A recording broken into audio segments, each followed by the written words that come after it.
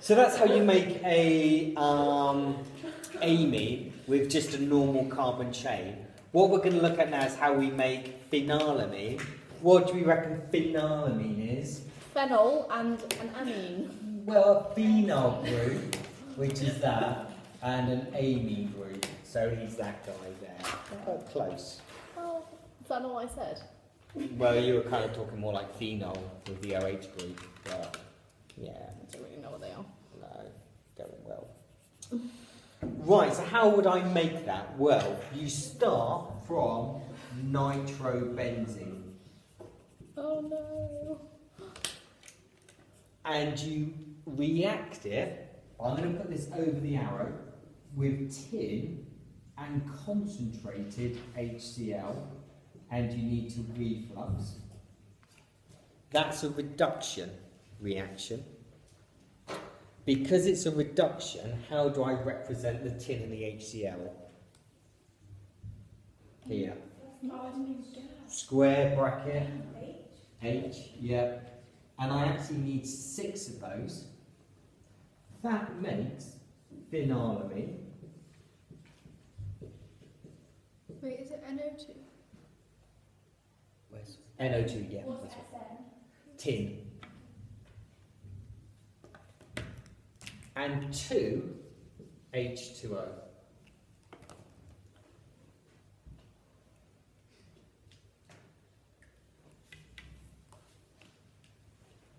So this is nitrobenzene.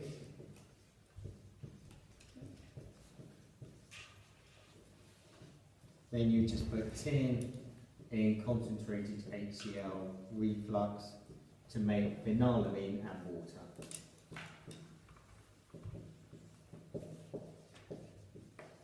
There you go.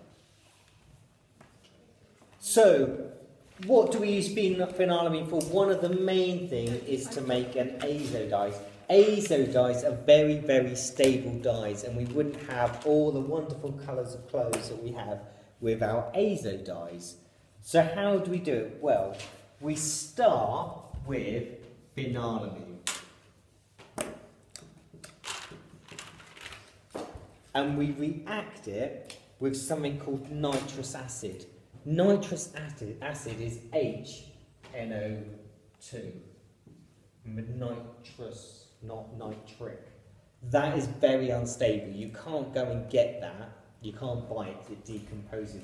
So you make it in situ, which means we make it in the reaction and it reacts straight away. So I make it by adding in sodium nitrite, NaNO2, plus HCl. And I need two of those. And it call, makes this in situ acid.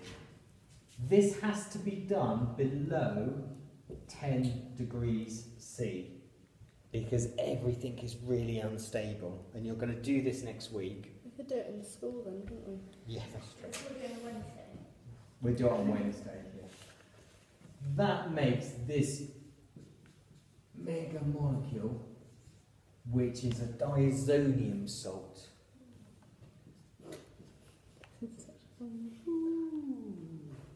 Plus 2HCl plus NaCl.